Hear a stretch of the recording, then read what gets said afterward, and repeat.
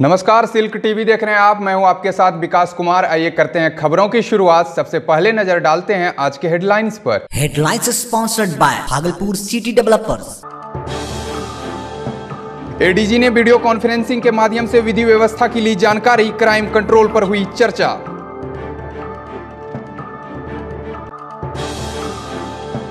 जल संरक्षण को लेकर नगर निगम में हुई बैठक, बढ़ते जल संकट को देखते हुए जल स्रोत को विकसित करने पर हुई चर्चा।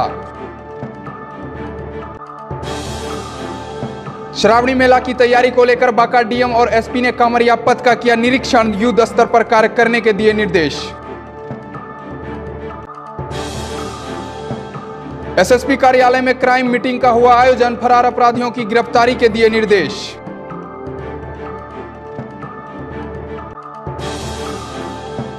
और 16 जून से शुरू होगी लॉ की परीक्षा, कदाचार मुक्त परीक्षा, विश्वविद्यालय प्रशासन के लिए होगी चुनौती। और अब खबरें विस्तार से। बिहार के एडीजी हेडक्वार्टर ने बुधवार को वीडियो कॉन्फ्रेंसिंग कर सभी जोन के आईजी एवं रेंज डीआईजी से विधि व्यवस्था एवं पेंडिंग केस की जानकारी ली। भागलपुर के एनआईसी में वीडियो कॉन्फ्रेंसिंग के दौरान जोनल आईजी विनोद कुमार एवं डीआईजी विकास वैभव से एडीजी ने विधि व्यवस्था समेत कई बिंदुओं पर जानकारी ली और अपराधियों पर आपराधिक घटनाओं पर नियंत्रण करने को लेकर कई दिशा निर्देश दिए। भागलपुर नगर निगम सभागार में बुधवार को जल संरक्षण को लेकर महापौर सीमा शाह की अध्यक्षता में बैठक का आयोजन किया गया। शहर के जलाशयों, तालाबों एवं विभिन्न प्रकार के जल स्रोतों का पता कर जल संरक्षण करने और जल संकट दूर करने पर विस्तार पूर्वक चर्चा हुई। बढ़ते जल संकट के कारण भागलपुर समेत देश भर में भीषण जल संकट उत्पन्न हो गया है। जल संकट से निपटने के लिए सरकार के माध्यम से प्रयास तेज कर दिया गया है। जल संसाधनों को विकसित करने को लेकर उपनगर आयुक्त, डीएफओ, दिल्ली से आए विशेषज्ञों के अलावा कई एनजीओ के प्रतिनिधि और नगर निगम के पार्षदों ने जल संरक्षण से संबंधित कई सुझाव दिए।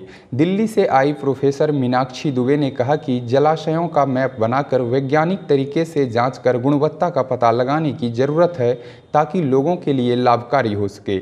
महापौर सीमा शाह ने कहा कि भारत सरकार द्वारा जल संरक्षण के लिए चलाई जा रही योजनाओं का लाभ लेने की ज़रूरत है, सभी को मिलकर पानी बचाने का उपाय करना होगा। जबकि पूर्व उप महापौर डॉक्टर प्रीति शेखर ने कहा कि जल संकट के कई कारण हैं और इस पर मंथन कर वाटर लेवल बढ़ाने एवं जलाशयों को अतिक्रमण मुक्त कर जल संरक्षण की ज़रूरत है। बैठक में उप नगर आयुक्त एस वर्मा, प्रभु चंद्र यादव, जिला वन पदाधिकारी एस सुधाकर, दिल्ली से आए कई विशेषज्ञ, एनजीओ के प्रतिनिधि और पार्षद मौजूद थे।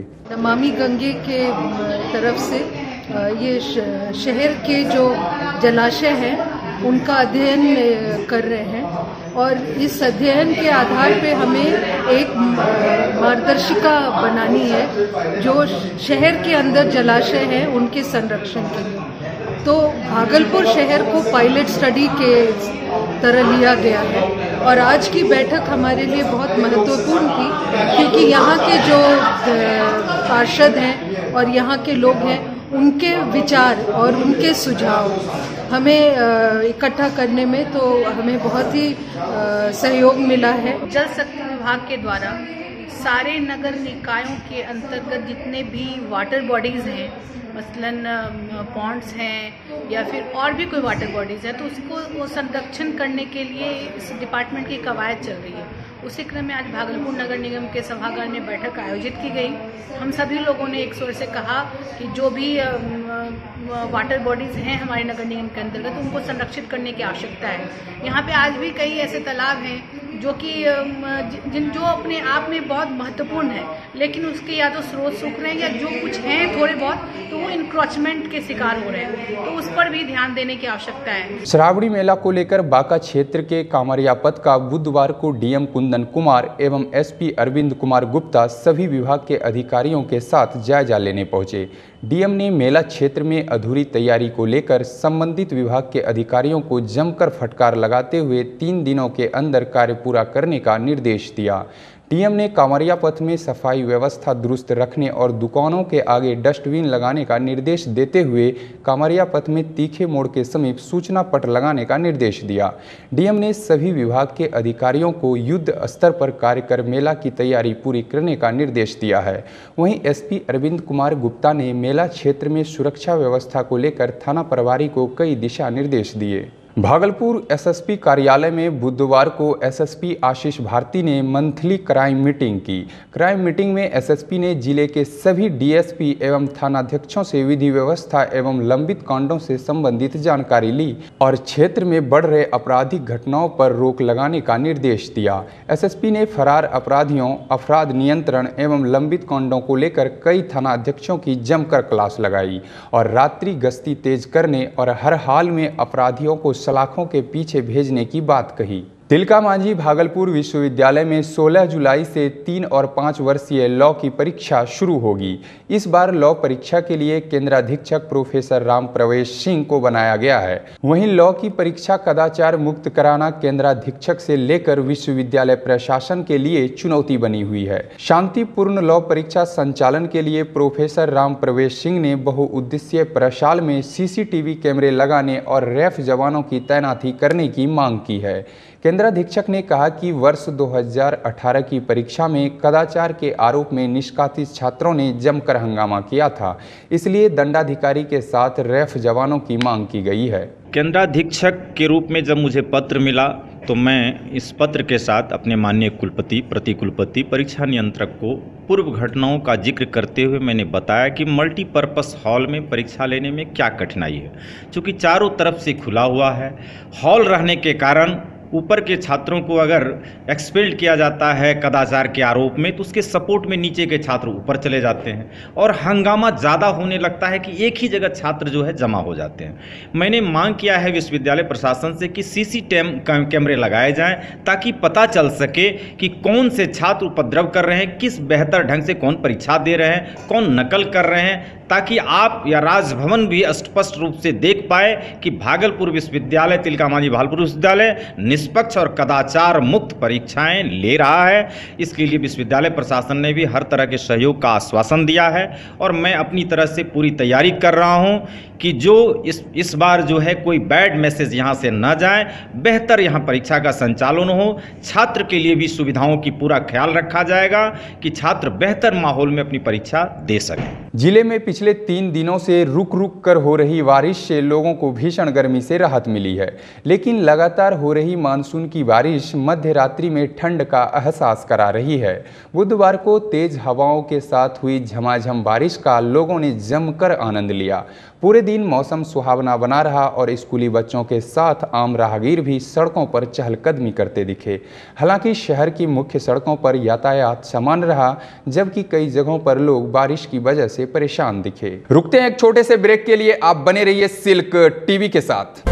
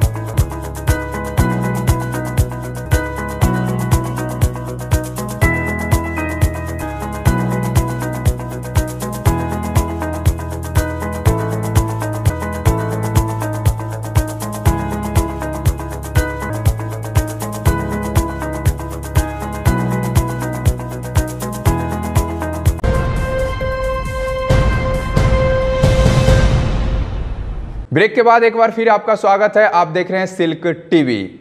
Bhagalpur CS compound समेत शहर के विभिन्न जगहों पर बुधवार को वन विभाग की ओर से सूखे पेड़ों की कटाई की गई। पिछले दिनों तेज आंधी बारिश के कारण गिरे पेड़ों को जिला प्रशासन के निर्देश पर वन विभाग द्वारा कटवाया जा रहा है। गौरतलब हो कि तेज आंधी के कारण सूखे एवं कमज़ोर हो चुके पेड़ों के साथ कई हरे पेड़ भी गिरे थे, जिससे कि बिजली के तार एवं कई वाहन क्षतिग्रस्त हो गए थे। शहर के कई जगहों पर पेड़ गिरने से आवागमन ठप हो गया था। बिजली के तार से घिरे होने के कारण वन विभाग को पेड़ों की कटाई में काफ़ी मशक्कत करनी पड़ रही है। विभाग को कई बार सूचना देने के बावजूद तार को व्यवस्थित नहीं किया गया। जिला वन पदाधिकारी एस सुधाकर ने कहा कि आंधी बारिश की आशंका को देखते हुए जगह जगह कमज़ोर एवं सूखे पेड़ों को चिन्हित कर कटवाया जाएगा। पेड़ जो है, सूखने का कारण बहुत हो सकता है, ठीक? तो वो इसमें मुख्य कारण यहाँ पर हम लोग जो नोटिस किए हैं, कल भी हम लोग जो पूरे शहर में घूम के हम लोग सर्वेक्षण किए हैं, जो पेड़ जो है ऐसा जो कुछ हरा पेड़ भी गिर जाता है तो उसको जो किसी के प्राइवेट ज़मीन पर है तो हम लोग उस पर कुछ कार्रवाई नहीं कर सकते। सूखा पेड़ तो बहुत चिन्हित करके हम लोग हटा दिए हैं, ठीक है। अभी जो जितना जो पेड़ है, जो गिर रहा है, वो सब तो हरा पेड़ है तो आंधी में तो गिरना तो नेचुरल है, उस पर तो हम लोग रोक नहीं लग सकता। आज का पेड़ जो है, वो कटाई की जा रही है, वो जो सिविल सर्जन का आवास के पास है, वो जो पाँच का जो महागनी का पेड़ सूख गया था, पहले ही तो उसको जो है कटाई के लिए हम लोग कई बार कोशिश किए हैं, लेकिन उस पर जो बिजली विभाग से भी हम लोग पत्राचार किए हैं तो उसमें जो बहुत सारा लाइन चल रहा है सरकार का लाइन जो है चल रहा है। उसको पहले हटाना पड़ेगा। मंगलवार की देर रात नशे में हंगामा कर रहे तीन युवक को पुलिस ने गिरफ़्तार कर लिया। दरअसल नाथनगर थाना क्षेत्र के पुरानी सराय मोहल्ले में गश्ती के दौरान पुलिस ने शराब के नशे में हंगामा कर रहे युवक को गिरफ़्तार कर लिया। वहीं मधुसूदनपुर थाना पुलिस ने शराब के नशे में दो युवक का ब्रेथ एनालाइजर मशीन से जाँच की, जिसमें शराब पीने की पुष्टि हुई। पकड़े गए शराबी युवक की पहचान पुरानी सराय निवासी सुमित कुमार एवं मधुसूदनपुर थाना क्षेत्र के सिकेश कुमार और कृष्णा कुमार के रूप में हुई है। कहलगांव के रामाशी में अवैध संबंध को लेकर माँ और बेटी ने अपने प्रेमी के साथ मिलकर पति को मौत के घाट उतार दिया। इस जघन्य घटना को अंजाम देने के बाद माँ और बेटी ने अपना जुर्म स्वीकार कर लिया है। कहलगांव डीएसपी मनोज कुमार सुधांशु ने सनहोला थाने में माँ बेटी से गहन पूछताछ की। इसके बाद डीएसपी पुलिस बल के साथ घटना स्थल पहुँचे और बारीकी से जाँच की। इस दौरान पुलिस ने हत्या में प्रयुक्त धारदार हथियार और खून से सने कपड़े घटनास्थल से बरामद किया है। डीएसपी ने कहा कि घटना में शामिल प्रेमी दिनेश यादव की तलाश में छापेमारी की जा रही है। जल्द ही गिरफ़्तार कर लिया जाएगा। लोदीपुर थाना क्षेत्र के लोदीपुर खुर्द गाँव के समीप 30 जून की रात सबौर के सुदामा कुमार से हथियारबंद अपराधियों ने लूटपाट की घटना को अंजाम दिया था। पुलिस ने घटना का उद्भेदन करते हुए कांड में शामिल दो अपराधी को लूटे गए सामान के साथ गिरफ़्तार कर लिया है। वरीय पुलिस अधीक्षक आशीष भारती ने प्रेस कॉन्फ्रेंस कर मामले की जानकारी देते हुए कहा कि घटना के उद्भेदन के लिए DSP law and order Nisar Ahmad के नेतृत्व में पुलिस टीम का गठन किया गया था। जिसके बाद तकनीकी अनुसंधान के आधार पर भिकनपुर निवासी मोहम्मद लकी और मोहम्मद शाहरुख को गिरफ़्तार किया गया है। पकड़े गए आरोपी के पास से लूटा गया मोबाइल और हेलमेट बरामद हुआ है। एसएसपी ने कहा कि दोनों आरोपी का आपराधिक इतिहास रहा है। 30 जून की रात्रि में, लगभग साढ़े आठ बजे ग्राम राजापुर, पालटोला सबौर के सुदामा कुमार पेशर शिव नारायण दास के पास से उनका एक मोटरसाइकिल एक ओप्पो और एक सैमसंग का मोबाइल फ़ोन, एक हेलमेट, चार हज़ार रुपये और अन्य कागजात लोधीपुर खुर्द के पास अज्ञात अपराध कर्मियों के द्वारा लूट लिया गया था, जिसके संबंध में जो पीड़ित थे, पीड़ित के द्वारा जब थाना पे आवेदन दिया गया तो उसके बाद लोधीपुर थाना के द्वारा कांड संख्या 115 पंद्रह ऑब्लिक उन्नीस दर्ज करके अनुसंधान प्रारंभ किया गया। इस मामले के त्वरित उत्वेदन तथा गिरफ्तारी और बरामदगी के लिए डीएसपी लॉ एंड ऑर्डर के नेतृत्व में विशेष टीम का गठन किया गया था जिसके द्वारा इस मामले में त्वरित कार्रवाई करते हुए दो अपराधियों को गिरफ़्तार किया गया है, जिसका नाम है मोहम्मद लक्की जो कि इसाकचक थाना क्षेत्र का रहने वाला है, और साथ ही साथ मोहम्मद शाहरुख वो वो भी इसाकचक थाना क्षेत्र का रहने वाला है, और उसके पास से लूटा गया सैमसंग मोबाइल, लूटा गया ओप्पो मोबाइल और लूटा गया हेलमेट को बरामद किया गया है। तिलका मांझी भागलपुर विश्वविद्यालय में अतिथि शिक्षक बहाली की प्रक्रिया शुरू करने की मांग को लेकर अतिथि व्याख्याता अभ्यर्थी अनशन पर बैठ गए। बुधवार को अभ्यर्थी डॉक्टर कपिल देव मंडल डॉक्टर सत्यजीत कुमार और डॉक्टर विनय भारती अनशन पर बैठे रहे। अभ्यर्थी कपिल देव मंडल ने कहा कि गेस्ट शिक्षक बहाली को लेकर विश्वविद्यालय प्रशासन टाल मटोल कर रहा है।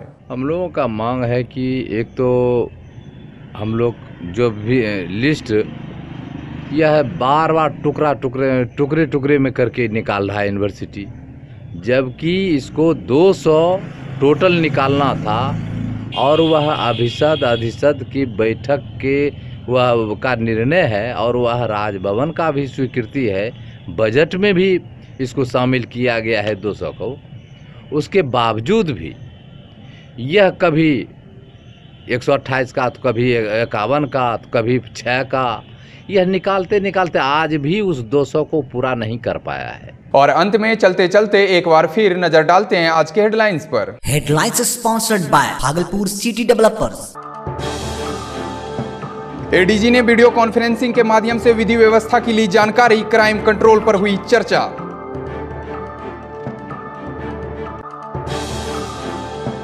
जल संरक्षण को लेकर नगर निगम में हुई बैठक, बढ़ते जल संकट को देखते हुए जल स्रोत को विकसित करने पर हुई चर्चा। श्रावणी मेला की तैयारी को लेकर बांका डीएम और एसपी ने कामरिया पथ का किया निरीक्षण, युद्ध स्तर पर कार्य करने के दिए निर्देश। एसएसपी कार्यालय में क्राइम मीटिंग का हुआ आयोजन, फरार अपराधियों की गिरफ्तारी के दिए निर्देश।